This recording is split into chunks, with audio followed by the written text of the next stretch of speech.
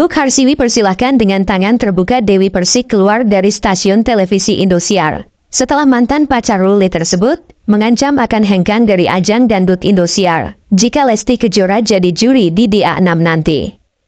Jika ada yang keberatan dengan keberadaan Dede di acara ajang pencarian bakat penyanyi Dandut di Akademi 6 Indosiar nanti, kami tak memaksa dirinya bertahan di Indosiar. Tutur Buk Harsiwi Meskipun tak menyebut nama, namun banyak netizen menduga kalimat yang dilontarkan oleh Buksiwi tersebut ditujukan kepada Dewi Persik. Dewi Persik dengan tegas mengatakan dirinya akan keluar dari semua acara ajang Dandut Indosiar. Jika Lesti Kejora resmi didapuk menjadi salah satu dewan juri di acara ajang kompetisi pencarian bakat penyanyi Dandut di Akademi 6 Indosiar. Hal itu disampaikan langsung oleh pelantun lagu Mimpi Manis tersebut lewat siaran live di media sosial pribadinya yang kemudian diunggah ulang oleh akun TikTok yang bernama Cepok. Dalam video tersebut, Dewi Persik juga menambahkan bahwa dirinya tak sudi jika duduk berdampingan dengan Lesti Kejora sebagai dewan juri di ajang tersebut. Sontak saja, postingan itu seketika langsung dibanjiri dengan beragam komentar dari banyak warganet tanah air. Tak sedikit dari mereka menyayangkan atas sikap Dewi Persik tersebut. Bahkan, beberapa netizen secara belak-belakan meminta mantan istri Saiful Jamil itu untuk segera bertaubat. Namun sayangnya, unggahan video yang diunggah oleh akun cepok tersebut belum bisa divalidasi kebenarannya.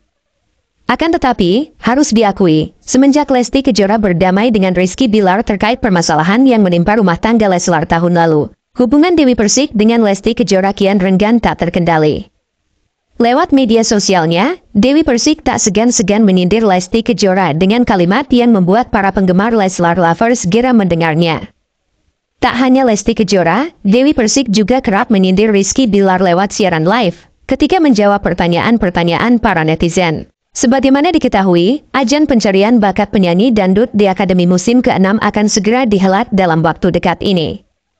Hal itu disampaikan langsung oleh pihak Indosiar lewat pengumuman di akun resmi Instagram mereka.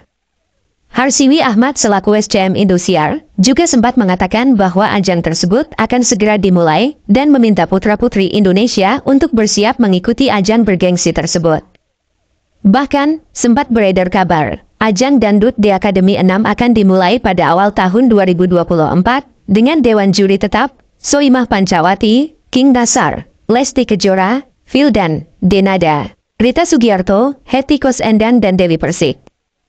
Namun sayang, pihak Indosar belum merilis secara resmi tanggal berapa ajang tersebut akan digelar.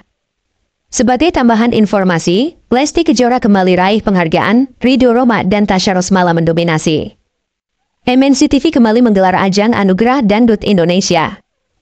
Tahun ini, ajang penghargaan ini akan ditayangkan live dari Jember Edu Garden, Jawa Timur, pada 24 November 2023, pukul 20.45 waktu Indonesia Barat dalam ajang itu, Lesti Kejora kembali menang penghargaan. Dia memenangkan kategori penyanyi dan butuh wanita paling di hati.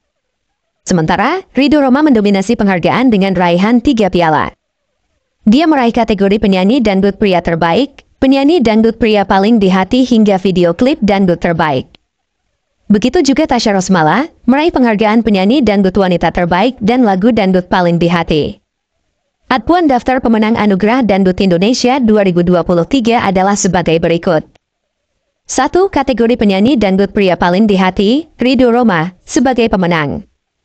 2. Kategori penyanyi dangdut wanita paling di hati, Lesti Kejora, sebagai pemenang.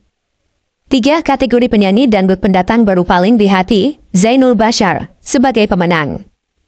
4 kategori kolaborasi dangdut paling di hati, Inul Daratista X Zainul X IURSD Buaya Buntung, sebagai pemenang. 5 kategori lagu pop dut elektro paling di hati, Mama Muda, Dara Futian Storm, sebagai pemenang. 6 kategori lagu dangdut paling di hati, Takdirku Bersamamu Tasha Rosmala, sebagai pemenang. 7 kategori video klip terbaik, Hanya Dia Rido Roma Sonet 2 Band, sebagai pemenang. 8 kategori pedangdut pria terbaik, Rido Roma, sebagai pemenang.